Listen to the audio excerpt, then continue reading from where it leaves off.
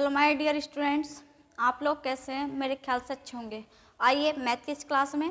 I am Kanchan. आज मैं आपके लिए लेकर आई हूँ अनुपात। मतलब मध्यानुपात तृतीय अनुपात और चतुर्थ अनुपात हम कैसे निकालते हैं और कौन सा फॉर्मूला फिट करते हैं? ट्रिक से आप लोग सीखने वाले हैं, जो हमारे ऑल कॉम्पिटिटिव एग्ज़ाम में बार बार पूछे जाते हैं। आइए देखते हैं क्लास की तरफ़। जैसे क्या क्वेश्चन नंबर बन दिया है हमारा? सोलह एवं चार का प्रथम अनुपात पूछा है। क्या पूछा है?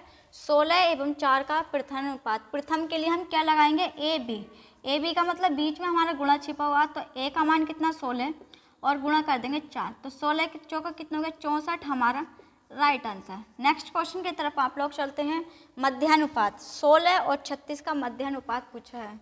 क्या पूछा है? सोलह और चौबीस का, छत्तीस का मध्यानुपात। मध्यानुपात के लिए फॉर्मूला वर्ग के अंदर ए बी अंडर रूट के अंदर क्या है?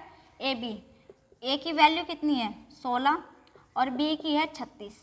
तो हम देखेंगे सोलह किस चीज़ का वर्ग है और छत्तीस किस चीज़ का वर्ग हमारा। तो सोलह का किस चीज़ का वर्ग है? चार का।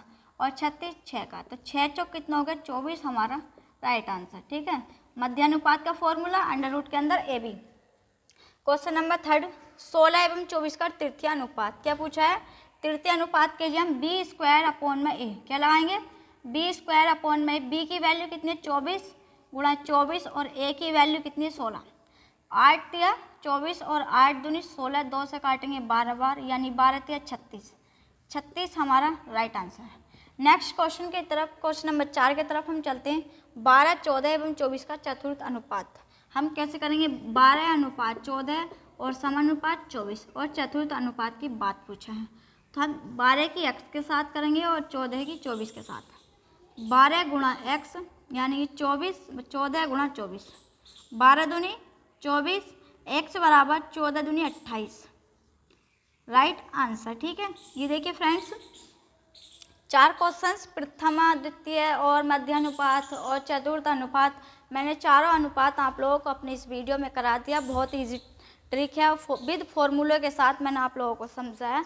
आप लोगों से निवेदन है कि अपने फ्रेंड्स को ज़्यादा से ज़्यादा वीडियो को शेयर करें और चैनल को भी सपोर्ट कराओ। देखिए, एक फिर और दोबारा से। प्रथमानुपात का ए भी है तो ए की वैल्यू सोलह और गुणा चार। सोलह चौका चौंसठ हो गया।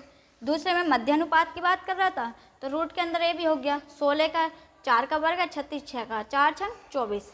तृतीय अनुपात में बी स्क्वायर अपॉन का फॉर्मूला लगाते हैं और चतुर्थ अनुपात में पहले की गुणा चौथे के साथ करते हैं, दूसरे की गुणा तीसरे के साथ करते हैं। जो हमारा काट फिट का आता है, वही हमारा आंसर हो जाता है, ठीक है? वीडियो को अंत तक देखने के लिए आप लोगों का बहुत बहुत ज़्यादा धन्यवाद, ठीक है? Thank you have nice day